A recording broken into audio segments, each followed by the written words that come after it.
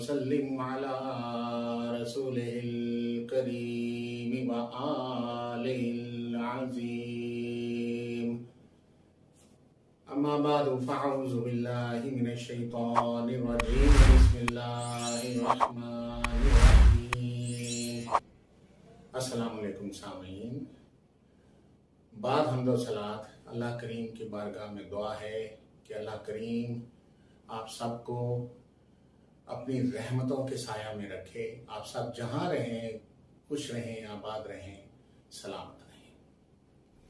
आज सामीन मैं आपसे गुर्दों के मौजू पर, जो कि इस वक्त दुनिया में एक एक मुख्तलिफ़ वजूहत से, चलो मैं वजह बयान इसलिए नहीं करता कि मैं बिल्कुल भी ऐसे अल्फाज इस्तेमाल नहीं करना चाहता कभी भी, जैसे किसी कंपनी या किसी भी ट्रेड की दिल आजारी हो। किसी भी वजह से गुर्दे फेल लोगों के होते जा रहे हैं, गुर्दों के अमराज बढ़ते जा रहे हैं। तो आज की ये वीडियो गुर्दों के अमराज पे आपकी ज़िंदगी का एक असासा होगी और इसको बिल्कुल आपने स्किप नहीं करना, इग्नोर नहीं करना। क्योंकि ये, इंशाल्लाह, आपके बहुत काम आने वाला असल में बात ये ये मेरे कहने की एक वजह है। असल बात ये है कि पूरी दुनिया में होता क्या है कि जब मर्ज हो जाता है तो फिर उसका इलाज शुरू किया जाता है। और ये बिल्कुल नहीं किया जाता कि मर्ज होने से पहले उसको रोक लिया जाए या उसकी हिफाजत की जाए ताकि वो मर्ज हो ही ना। तो मैं बिल्कुल इस बात पे बहुत फोकस देता हूँ और मेरी रिसर्चेज और ये सारी चीज़ें इस पे घूमती हैं कि मर्ज जिसको हो गया, चलो अल्लाह बचा के सबको रखे, वो तो हो गया। उसका इलाज हो, लेकिन जिनको नहीं हुआ और वो उस रस्ते पे हैं अगर तो उनको उससे बचाया जा सके। उस मान में बहुत सारी खिदमात करने की कोशिश कर रहे हैं इनशाला अल्लाह करीम अपने रसूल करीम के सदके मजीद तोफ़ीक़ात में अजाफा फरमाएँगे, इंशाल्लाह। अब इस मद में मैं अर्ज़ करना चाहता हूँ कि गुर्दे, असल में मैं मुखसर से, मैं को लंबा लेक्चर नहीं देना। मुखसर बात में भी वीडियो कई मिनट्स की हो जाती है बात बंदे देख कर इग्नोर कर पूरी तवज्जो रखें। गुर्दों के फेल होने की बेसिक पाँच अकसाम होती है। या गुर्दे फेल होते हैं किसी फ़िज़िकल इंजरी की वजह से। या गुर्दे आपके काम करना छोड़ते हैं कोई उसमें इन्फेक्शन मौजूद है, उसके कई रूप हैं, उस तरफ़ मैंने नहीं जाना। या डायबिटीज़ की वजह से थी, या आपके गुर्दे फेल होंगे हाई ब्लड प्रेशर की वजह से ये कॉजेज हैं मेन या स्टोन डिजीजेस हैं, उसके ये पाँच मेन वजूहत हैं। बाद बंदे ये सवाल करते हैं, इसलिए मैंने मुख्तर ये बताया। तो जब गुर्दे फेल हो जाते हैं तो उर्फे आम में आज हर एक को पता है जी मुझे डॉक्टर ने कह दिया, मरीज़ खुद, मैं सदरा से प्रैक्टिस कर रहा हूँ। मुझे डॉक्टर ने कह दिया कि जी आपका डायलिसिस करवाना अब आपके डायलिसिस होंगे, क्यों होंगे? क्यों क्योंकि आपके गुर्दे काम नहीं कर रहे या जी, आप, आपका डायलिसिस भी आपके काम नहीं आएगा, आपको ट्रांसप्लांट करवाना पड़ेगा। तो ये ट्रांसप्लांट और डायलिसिस से अवेयरनेस लोगों को है तो इस पर मैं बात नहीं करना चाहता। मैं ये बताना आपको चाहता हूँ कि आखिर हमें डायलिसिस करवाने क्यों पड़ते हैं? पूरी तवज्जो रखें। आ, मैं आपको ये बात एक मिसाल से समझाता हूँ। हम में से हर कोई अमूमी तौर पे कोई ना कोई व्हीकल यूज़ कर उसमें से बाज कार को इस्तेमाल करते हैं और बाज बाइक को इस्तेमाल करते हैं। तो और बाद जो कार को इस्तेमाल करते हैं या बाइक को इस्तेमाल करते हैं तो उसमें वो फ्यूल यानी पेट्रोल डालते हैं। और, और कार के इस्तेमाल करने वाले पेट्रोल के अलावा उसमें पेट्रोल के साथ साथ मतलब उसके अलावा डीजल पे भी कुछ इंजन चलते हैं तो डीजल भी डालते हैं। जब आपको कहीं जाना होता है, कहीं मूव करना होता है, कहीं जाना होता है तो आप क्या करते हैं कि वो कार या बाइक को स्टार्ट करते हैं। जब स्टार्ट करते हैं उसे तो उसको इंजन के प्रोसेस को अपना काम करने के लिए एनर्जी चाहिए होती है। तो वो एनर्जी इंजन के एक प्रोसेस के अकॉर्डिंगली वो अगर उसके अकॉर्डिंग वो चले तो वो वहाँ से एनर्जी क्रिएट होती है और उसके साथ साथ उस एनर्जी के साथ साथ उसमें वेस्ट मटेरियल भी क्रिएट होता है। और आपने देखा होगा कार में भी और बाइक में भी कि उसके साइलेंसर के रूप में वो वेस्ट मटेरियल वहाँ से खारिज होता है। यहाँ तक हम इंशाल्लाह आप समझ चुके होंगे। अब मैं आता हूँ इंसानी जिसम की हम सबको, पूरी तवज्जो रखें, हम सबको रोज़मर्रा ज़िंदगी के तमाम कामों के लिए, अपने मूवमेंट के लिए, तमाम डे टू डे एक्टिविटीज़ के लिए, हम सबको एनर्जी की ज़रूरत होती है। और उस एनर्जी को हम कहाँ से लेंगे? सवाल पैदा होता है। उस एनर्जी को हम लेते हैं खाने की शक्ल में। खाने से लेंगे, या हम किसी जूस या फ्रूट से वो एनर्जी लेंगे, उसको खाएँगे, इस्तेमाल करेंगे, किसी ड्रिंक को लेंगे, मुख्तलिफ़ फ़ूड आइटम्स हैं, दूध या लिक्विड की सूरत में हम उसको लेंगे। हम भले खाने के रूप में लें, या हम पीने के रूप में लें जब हम उस चीज़ को अपनी बॉडी में लेंगे तो वो एक मेटाबॉलिज्म से गुजरेगी। एक प्रोसेस है जो मेरे देखा एक डाइजेस्टिव सिस्टम है। उस सिस्टम से गुजरेगी तो वो सिस्टम से गुजरने के बाद जब बॉडी के अंदर मेटाबॉलिज्म होता है तो मेटाबॉलिज्म के बाद बॉडी में एनर्जी क्रिएट होती है। वो एनर्जी जो हमें चाहिए, वो एनर्जी बॉडी के अंदर क्रिएट होती है। तो जब बॉडी में एनर्जी क्रिएट होती है, जो हमें ज़रूरी है, उसके साथ साथ बॉडी में जनरेट जो होती है, वो जो एनर्जी, उसके साथ साथ बॉडी के अंदर उस मेटाबॉलिज्म की वजह से वेस्ट मटेरियल भी जनरेट होता है। अब दो चीज़ें पैदा हुई। दो चीज़ें बनी। एक एनर्जी बनी जो हमें चाहिए। एक वेस्ट मटेरियल बना जो हमें नहीं चाहिए। जो हमारी बॉडी को बिल्कुल नहीं चाहिए और उसका हमारी बॉडी के अंदर रहना हमारे लिए नुकसानदेह है। बीमारियों की वजह है। मुख्तलिफ़ अमराज के बनने की वो वजूहत हैं। उसकी वजह से जिसम में कई अमराज पैदा होते हैं। अब चूँकि गोया आज मेरा मौजू किडनीज पर है तो मैं गुर्दों से मुतलका वेस्ट मटेरियल पर ही बात करूँगा। अब आ जाते हैं कि जो, वो वेस्ट मटेरियल जो गुर्दों से जिसका वास्ता पड़ता है, उसमें यूरिया आता है। यूरिया बढ़ सकता है, हो सकता है। क्रेटेन है, वो बढ़ सकता है, हो सकता है। Excess of sodium excess of potassium excess of chloride ये पाँच बेसिक वेस्ट मटेरियल हैं जिसको जहरीले मादे कह लें उर्फ़ में समझने के लिए। वो वेस्ट मटेरियल यानी जहरीले मादे हैं जो एनर्जी के साथ साथ जनरेट होते हैं।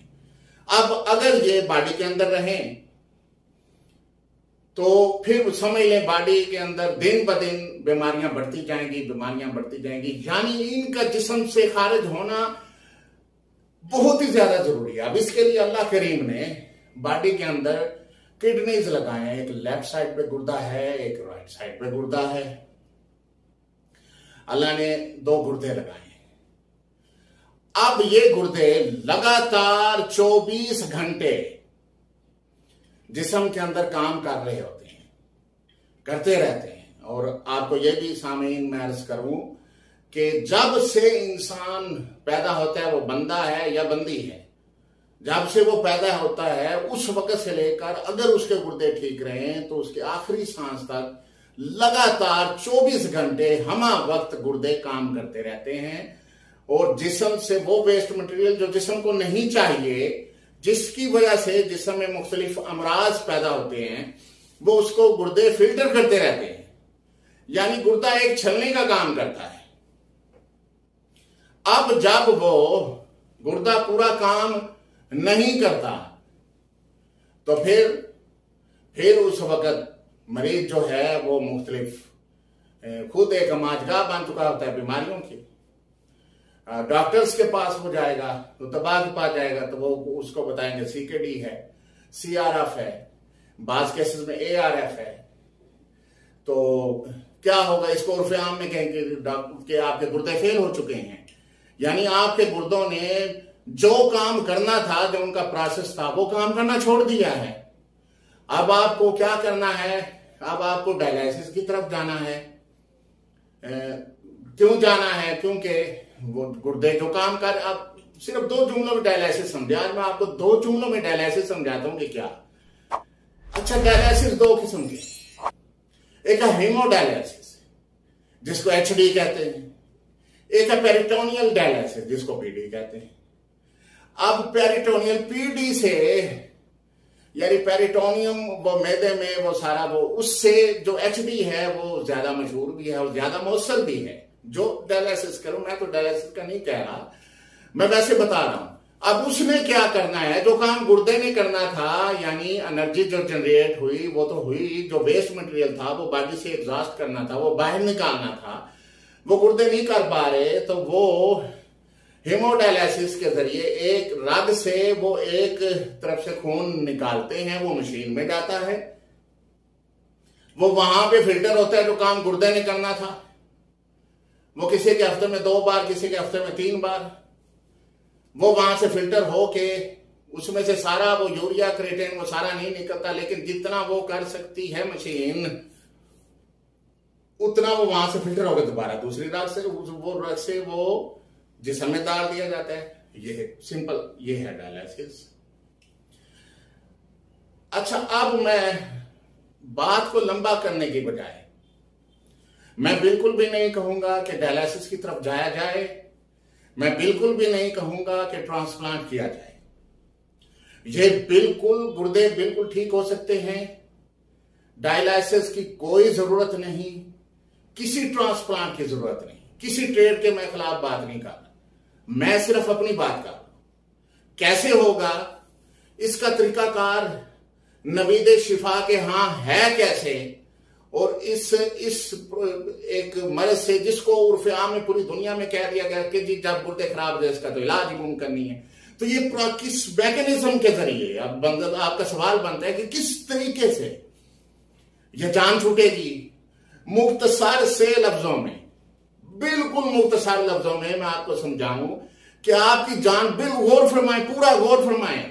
मेरी बात देखें, यहाँ पे बड़े बड़े मुफक्कर वैसे लोग बन जाते हैं व्हाट्सएप पे फेसबुक पे यूट्यूब पे, लोगों को पता ही नहीं होता यार, ये देखने में बंदा ठीक नहीं लग रहा। भाई, आप आके मिलो, देखो।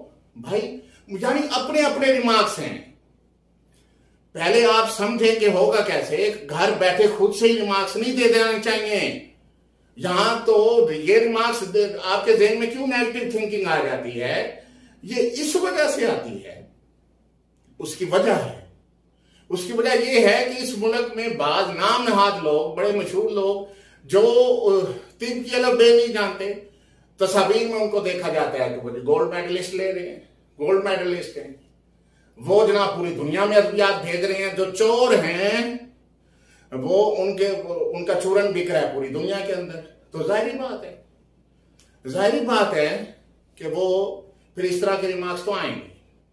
लेकिन चूँकि मेरा एक जज्बा इंसानियत की खिदमत है तो आप गौर फरमाएँ और पूरी तवज्जो करें इस बात की तरफ़। तवज्जो क्या है? मैकेनिज्म क्या है? ये तो फेल गुर्दे हैं।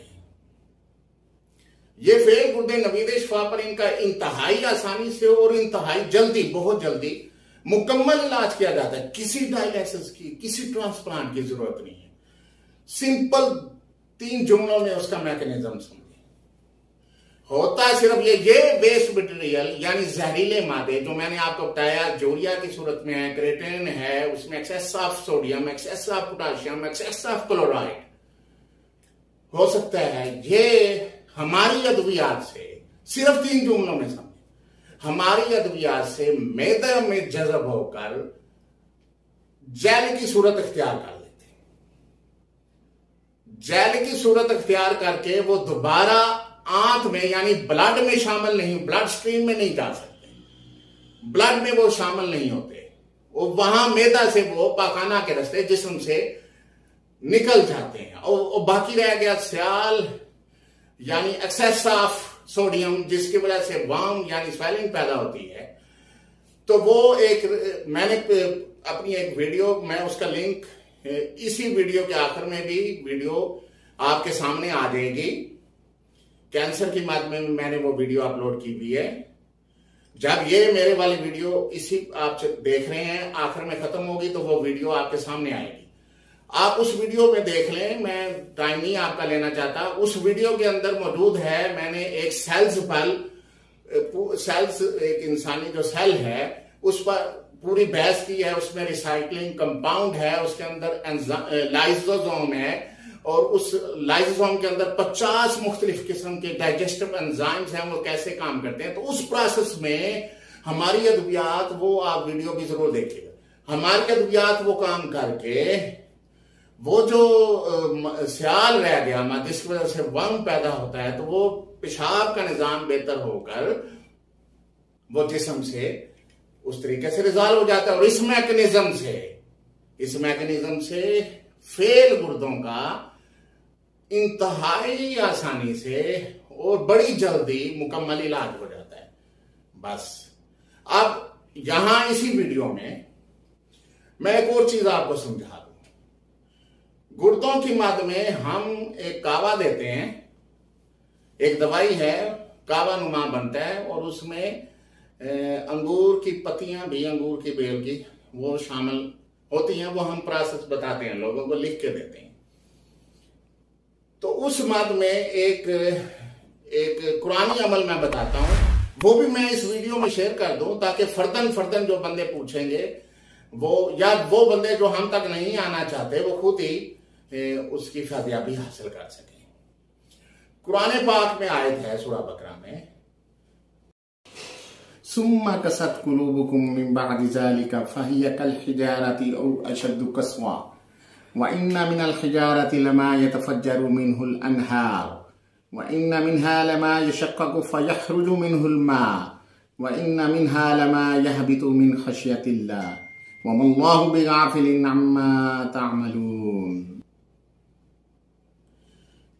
तो ये आपने पहले पाँच बार दरूद पाक, फिर पाँच बार ये आयत, और अल्लाह करीम के दस असमा, दस असमाए मुबारक अल्लाह करीम के, उनमें वो भी नोट करें। या उद्दती इन द शिद्दती, या रजाई इन द मुसीबती, या मुनीसी इन द वहशती, या साहिबी इन द गुरबती, या वली इन द नियमती द कुर्बती या दलील इन द खैरती या गनाई इन द इफ्तिकारी या मलजाई इन द या मुईनी इन मफजाई नौ बार ये असमाए करीम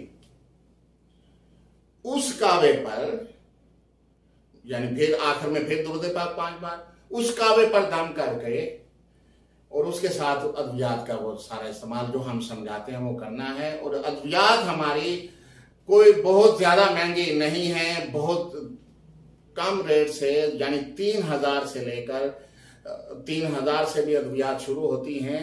और हम लंबा चौड़ी दवाई भी नहीं देते सिर्फ़ एक हफ़्ता या दस दिन की दवाई से मरीज़ अल्लाह करीम के करम से बहुत बेहतर हो जाता है।